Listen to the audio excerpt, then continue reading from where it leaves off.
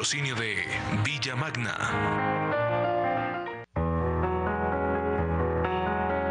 Con el patrocinio de Vendimia de Ciudad 2000.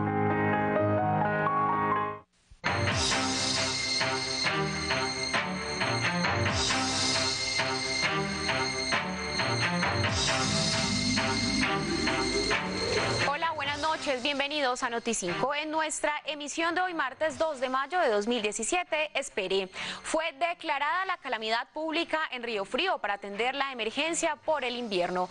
Más de 400 familias tuvieron que ser evacuadas en cuatro zonas de este municipio. El río Atrato fue declarado por la Corte Constitucional como sujeto especial de derechos, obligando al gobierno a emprender las acciones en contra de la minería ilegal y a favor de la reforestación. La OEA calificó como un golpe de Estado la propuesta de Maduro de nombrar una Asamblea Nacional Constituyente. Hoy se registraron nuevos bloqueos por los manifestantes. Murió el general Harold Bedoya en Bogotá. Nació en Cali, fue comandante de las fuerzas militares. Se posesionó hoy Juan Pablo Paredes como nuevo secretario de Seguridad de la Alcaldía de Cali en reemplazo de Laura Lugo. En deportes, el Real Madrid dio un golpe de autoridad en el Bernabéu venciendo tres goles por cero al Atlético de Madrid en la Champions League. Y al cierre espere el adiós de uno de los mejores artistas del Club del Clan. Harold Orozco dejó huella con la música de los 70. Iniciamos con la emergencia que se registró en las últimas horas en Río Frío Valle. Como medida de seguridad para los habitantes del sector Río Frío que se encuentran afectados por el desbordamiento del río Volcanes, declarado zona de calamidad pública, las distintas entidades llevaron maquinaria amarilla para lograr el acceso a las vías, conteo de personas afectadas para la entrega de ayudas humanitarias y traslado de las personas que necesiten servicio médico como se presenta en la vereda Calabazas, donde se encuentra una mujer en embarazo y un adulto con tratamiento de diálisis. Después de aproximadamente 48 horas de lluvias, las más de 400 familias afectadas han sido trasladadas a la parroquia y escuelas del lugar, mientras se sostiene la alerta en el sector. Podemos evidenciar que el río tiene un caudal alto, pero está eh, bien encauzado, no tiene desbordamientos. No evidenciamos ninguna avalancha o desbordamiento del mismo.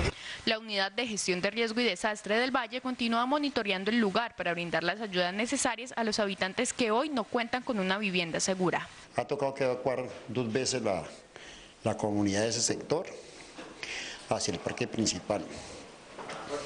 Hoy, a la madrugada nuevamente, eh, se evacuaron las personas. Estamos recibiendo noticias de que en varios sectores el río se ha salido, varias casas inundadas. Se espera que la evacuación dure de tres a cuatro días. Las vías que comunican a los otros corregimientos se encuentran cerradas por derrumbes. Según el pronóstico del tiempo, las precipitaciones en el lugar continuarán presentes. Y precisamente las autoridades declararon la calamidad pública en Río Frío para atender más de 400 familias afectadas por las lluvias. Las fuertes lluvias que se han presentado sobre la cordillera central han sido las responsables de la emergencia que se ha vivido en la zona rural del municipio. Más de 600 personas han sido evacuadas por los diferentes organismos de socorro. Bueno, en este momento tenemos eh, cuatro cuatro veredas afectadas, tenemos un corregimiento en donde nos reportan eh, cuatro viviendas colapsadas, eh, dos familias que están en posible riesgo porque están muy averiadas sus viviendas. En Salónica tenemos también eh, un reporte de una vivienda averiada. En Portugal de Piedras nos reportan cuatro viviendas averiadas. incomunicación hacia Calabazas, el Rubí, incomunicados Puerto Velo, incomunicados La Zulia, incomunicado La Italia.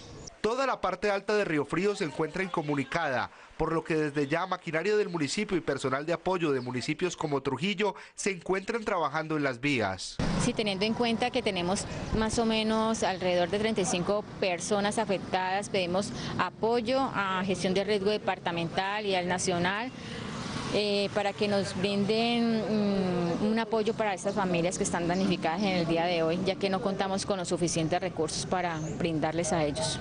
Personal de gestión de riesgos del departamento ya se encuentra en la zona haciendo un censo de las personas que hasta el momento se han visto afectadas. En este momento tenemos eh, unos grupos de trabajo con los presidentes de Junta de Acción Comunal en la zona alta que nos están informando acerca del crecimiento o cualquier cambio en el comportamiento de las aguas para poder nosotros en las partes bajas estar alertas. Ayer estuvimos en, en alerta roja y mm, los vigías del río también nos están dando información. Estos grupos fueron creados eh, por el Comité Municipal de Gestión del Riesgo para poder saber qué está sucediendo arriba y qué puede suceder acá abajo. El municipio en este momento está en alerta naranja eh, y estamos haciendo el seguimiento a los ríos.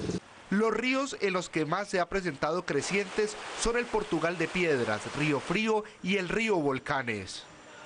Murió hoy en Bogotá el excomandante de las fuerzas militares y ex candidato a la presidencia de Colombia, Harold Bedoya. Nació en Cali y fundó el movimiento político Fuerza Colombia. Al general retirado Harold Bedoya se le recordará como uno de los militares que más luchó contra la guerrilla, los cultivos de coca, la corrupción y especialmente contra el cartel de Medellín. Nació en Cali en 1938 y a los 15 años comenzó su carrera en la Escuela Militar de Cadetes. Como teniente recibió la máxima distinción que otorga la República de Colombia, la Orden de Boyacá.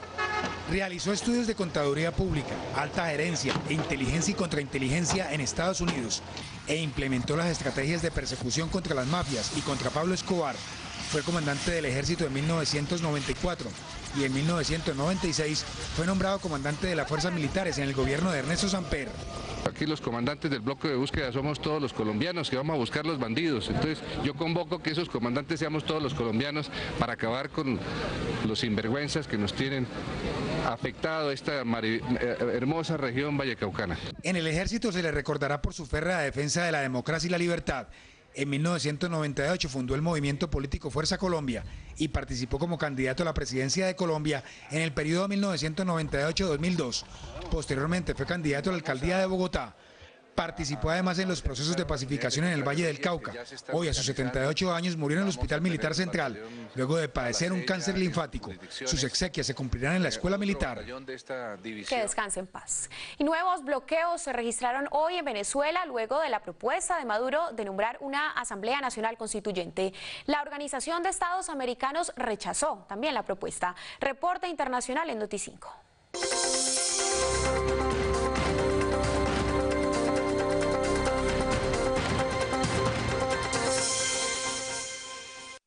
Cada día da lugar a nuevos actos impredecibles y sorpresivos por parte de Nicolás Maduro en su intento de estabilizar la situación política en Venezuela. El lunes en la tarde el mandatario convocó la creación de una nueva Asamblea Nacional Constituyente que posteriormente reformaría la constitución actual y renovaría los poderes públicos del Estado venezolano. Según los analistas, se trataría de la última carta de Maduro ante una evidente pérdida de control de su propio país, con el propósito final de otorgar al Estado los plenos poderes y de esta forma impedir un voto revocatorio en su contra que pide la oposición. En Venezuela, instalar una nueva constituyente implica seguir tres procesos electorales. Primero se debería aprobar la iniciativa de crear una nueva asamblea por voto popular. Luego postularían los candidatos para ser elegidos como miembros de dicha asamblea y finalmente habría referéndum sobre el nuevo texto establecido por la recién creada asamblea. En este caso, Maduro pasó el primer proceso pues tomó solo la decisión de aprobar la iniciativa y los expertos dicen que los candidatos a la constituyente ya habrían sido seleccionados dentro de la clase obrera y campesina. Parece seguro afirmar que la creación de la nueva constitución y su aprobación seguirán el mismo proceso directo sin consultar al pueblo. Las protestas que hasta ahora dejaron un saldo de 28 muertos en el país vecino definirán si el pueblo venezolano puede liberarse de lo que llaman un golpe de Estado antes de que el país se convierta oficialmente en una dictadura abierta. La Corte Constitucional declaró al río Atrato como sujeto especial de derechos, lo que obliga al gobierno a erradicar del Chocó la minería ilegal y a liderar la reforestación de los terrenos afectados. Colombia hoy en Noticinco.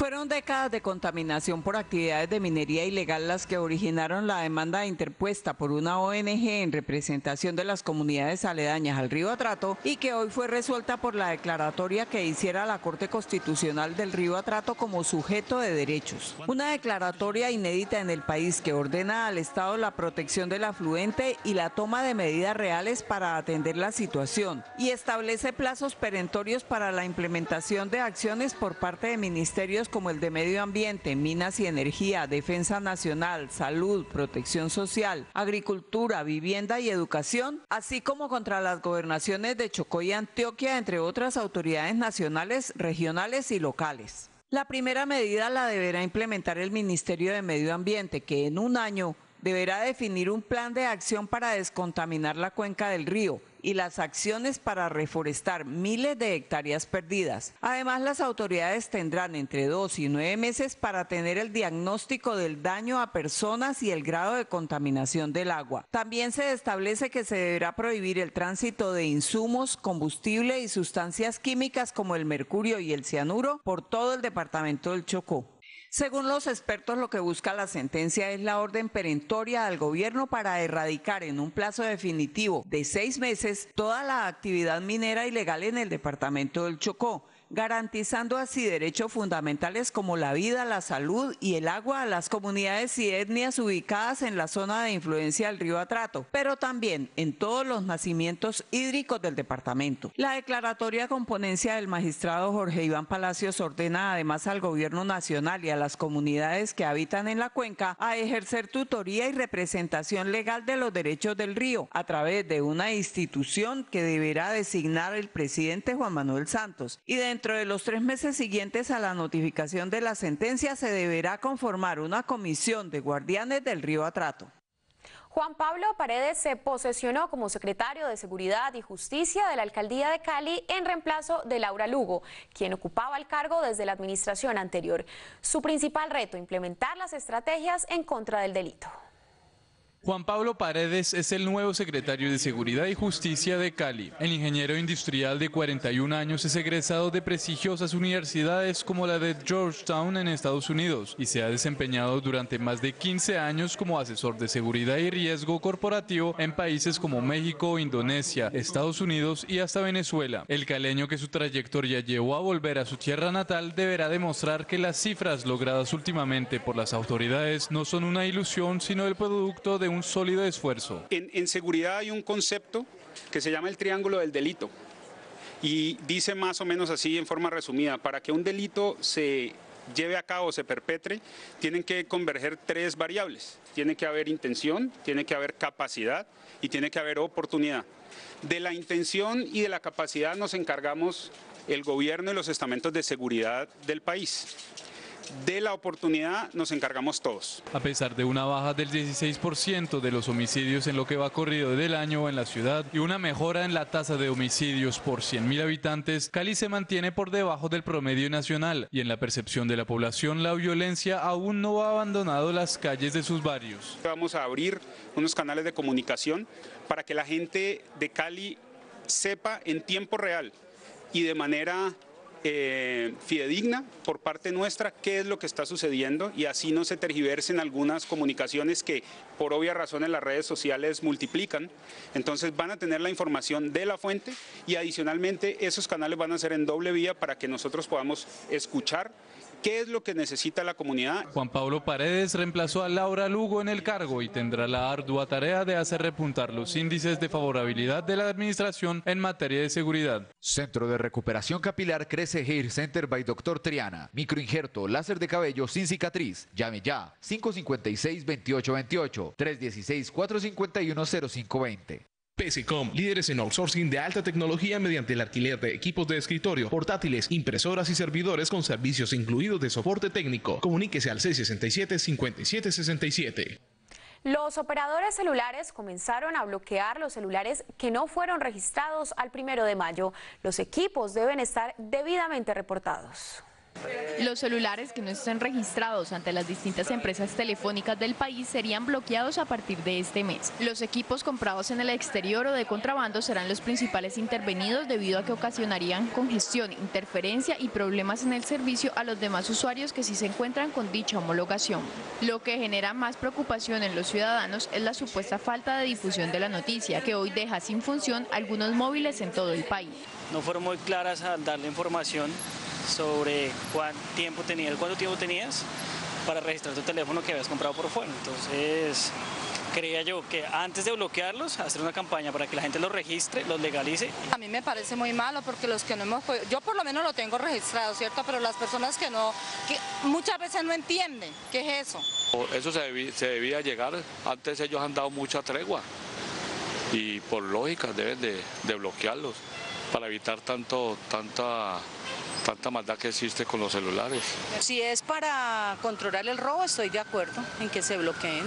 Muchos celulares que han sido adquiridos de forma fraudulenta y lo que se quiere es que se adquieran los, los celulares en empresas reconocidas y no se comercie celulares robados y todo eso. Es bueno, ¿por, ¿por qué? Por los celulares que se roban.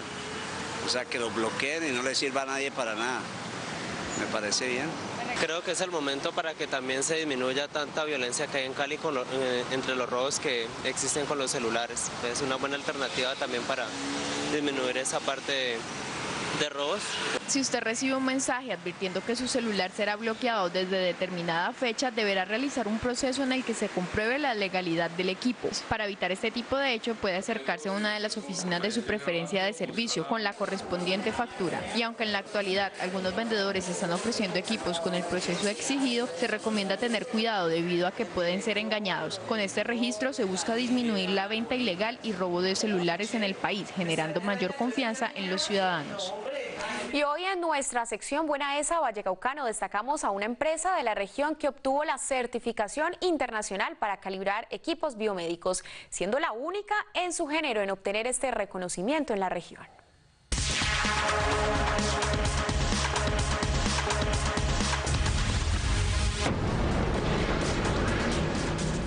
El único laboratorio certificado por un ente internacional para la calibración de equipos biomédicos nació en el año 2010 por un grupo de emprendedores caleños. Desde ese entonces se especializa en servicios metrológicos para verificar el funcionamiento técnico y la calidad que brindan los equipos en las diferentes clínicas y hospitales del suroccidente del país. La empresa nació en el año 2010. Eh, somos un laboratorio eh, que hace servicios de calibración, seguimiento intermedio y validación a equipos biomédicos e industriales. En los siguientes años, el laboratorio amplió su trayectoria al sector industrial, contando con un personal altamente capacitado en el manejo de equipos de medición, con el fin de evaluar la calidad y eficiencia de los aparatos en cuanto a las variables de presión, tiempo, peso, volumen, entre otras, que permiten a las demás organizaciones mejorar sus funciones y procesos. Somos un laboratorio de calibración especializados en la parte biomédica. ¿sí? ¿Qué es calibración? Calibración es la comparación que se hace entre un equipo patrón y un equipo bajo prueba. Sí, nosotros qué hacemos determinamos el error que tiene cada equipo. Esperan seguir brindando su experiencia y calidad a nivel local. Además, buscan expandirse abarcando toda la región y posteriormente a nivel nacional, con el fin de ser reconocidas por entidades de la salud y empresas industriales promoviendo responsabilidad social en el mercado. Por esta iniciativa de servicios metrológicos que aportan al bienestar de la sociedad en la región, buena esa Valle Caucano. Buena esa. Hacemos una pausa para comerciales y regresar espere la actuación de Cristiano Ronaldo en el Derby de Madrid por la Champions League y el previo de la semifinal de Mónaco Juventus donde estarán Falcao y Cuadrado.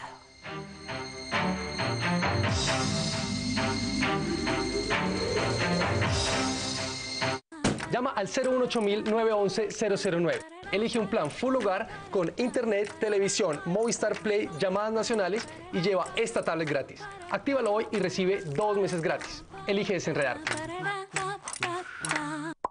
Vende, compra o arrienda en un. Ahora publicas o contactas más rápido y fácil con nuestra app. Descárgala, es gratis. O ingresa desde tu computador o tablet.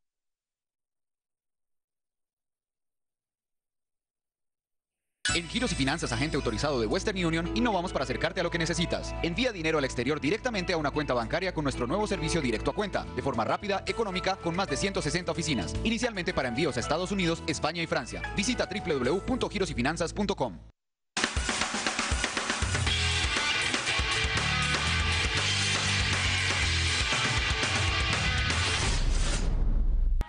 Cortuluá sacó una importante victoria ante Alianza Petrolera en el cierre de la fecha del fútbol colombiano. El equipo Corazón del Valle pretende alejarse también de la zona del descenso. Con el patrocinio de Cemento San Marcos. Somos el mejor aliado de las obras que perduran. Acosados por el descenso, los tulueños llegaron a Barranca Bermeja a dar el todo por el todo. No podían seguir cediendo terreno y menos cuando los escarlatas habían derrotado a Tigres en el Pascual. Los tres puntos eran sí o sí. Y fue así cuando en el minuto 40, después de este tiro de esquina, Fiber Mercado se adelanta a los centrales petroleros y de cabeza marca este buen gol para el equipo Corazón del Valle. Balón imposible para el arquero local que solo vio cómo caía su arco derrotado. A los 30 minutos, Carlos Ramírez cobró un tiro libre sin mayor riesgo, que le picó antes al arquero Cafa. Este dio rebote y Luciano Ospina, forcejeando con el central, empató el partido para Alianza. Gran error del arquero que había tenido una buena actuación. Pero siete minutos más tarde llegó la jugada polémica del partido. El arquero guatemalteco Jerez sale a cortar un balón al delantero Medina. Se produjo un choque y el árbitro decretó pena máxima para el equipo Corazón del Valle. El meta protestó la decisión, pero ya la suerte estaba echada. Fiber Mercado ejecutó el penal con violencia y al centro. El portero rechazó y de nuevo el delantero impactó el esférico para decretar el 2 por 1 definitivo a favor del Cortuluá, que con esta victoria toma un respiro para alejarse del descenso. La tabla de posiciones se encuentra de la siguiente manera.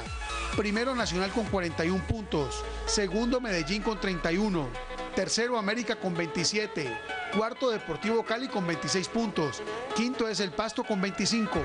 Millonarios, Jaguares y Santa Fe son sexto, séptimo y octavo con 23 puntos respectivamente.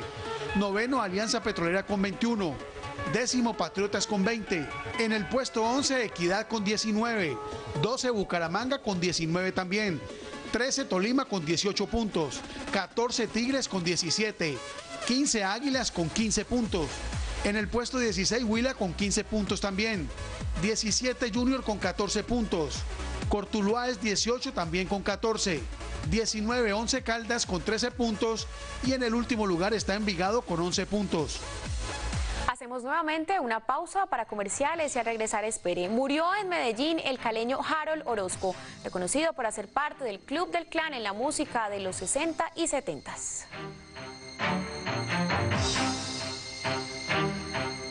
Ven a Expo Negocios y aprende con los más grandes expertos en narrativa empresarial cómo construir y contar la historia de tu marca. 11 de mayo, Cali, Colombia. Invita a Cámara de Comercio de Cali. West Army Security, cobertura nacional con 15 años de experiencia en el mercado, servicios especiales y de tecnología avanzada, vigilada y certificada por la Superintendencia de Vigilancia. West Army Security, su seguridad, nuestro compromiso. Esta noche en la Escuela de Aviación Marco Fidel Suárez, la Fuerza Aérea tuvo una ceremonia muy particular. Celebraron las 10.000 horas de vuelo del T-90, la primera aeronave construida en Colombia. Aristocratidis tiene el informe. Buenas noches Cindy, efectivamente este avión es el T-90 Calima, el primer avión construido en suelo colombiano. Y esta noche cumplió las 10.000 horas de vuelo, un paso simbólico que significa que la aviación militar colombiana tiene la capacidad para desarrollar una aeronáutica propia. Los aviones de la Fuerza Aérea Colombiana son en mayoría importados de otros países gracias a convenios por parte de los fabricantes y alianzas militares. La particularidad del T-90 es de haber sido desarrollado en unos talleres 100% colombianos, ubicados en Madrid, Cundinamarca, y es el proyecto T-90 lanzado en el 2006 que inauguró la cadena de fabricación. Son 10.000 horas voladas con seguridad que ha formado más de 200 pilotos desde el año 2006 que inicia este proyecto, más de 4.000 misiones de entrenamiento realizadas, pues nos hace sentir, como le digo, profundamente orgullosos. El T-90 Calima es un avión de instrucción que permitió formar una nueva generación de pilotos en los cielos del Valle del Cauca y el buen desarrollo de todas las operaciones que realizaron estas aeronaves permitieron la creación de nuevos proyectos similares. Que sea más eficiente, que tenga mayor durabilidad, que tenga más resistencia, que los trenes de aterrizaje sean reforzados, que los sistemas de freno sean mejorados y todo esto es un proceso de aprendizaje. Hoy estamos, digamos, en la curva óptima de esa curva de aprendizaje. Eh, inclusive hay países interesados en adquirir esta tecnología colombiana para sus escuelas de formación. Mientras otros aviones se desarrollan en los talleres, los cadetes de la Fuerza Aérea Colombiana seguirán ejerciéndose sobre este avión emblemático, esperando que otros los lleven más lejos hacia el horizonte. La durabilidad que logró esta aeronave demuestra que el proyecto de construcción iniciado hace 11 años fue un éxito y abre la puerta a nuevos experimentos con el propósito final de tener una fuerza aérea propia. Desde la base aérea Marco Fidel Suárez de Cali, soy Arisocratis. Sigan ustedes con más noticias en Noti5. Aris, gracias. Uno de los mejores intérpretes de la música de los 70 en la época del Club del Clan falleció a los 70 años. Se trata del caleño Harold Orozco.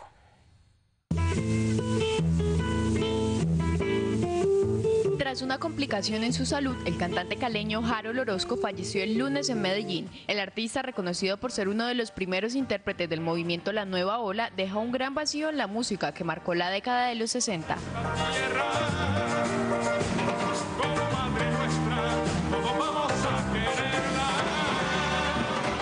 Se destacó en su carrera musical por los distintos y constantes cambios del género que pasaron desde el rock hasta la salsa, balada y folclore colombiano. También por ser pionero en los jingles y campañas publicitarias.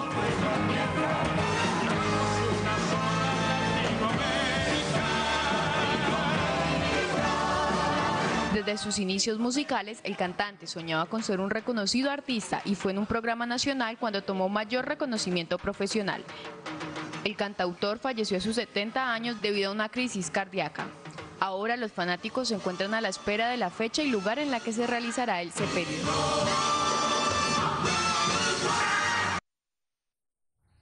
Así llegamos al final en nuestra misión. Continúen con toda la programación de Telepacífico. Feliz noche para todos.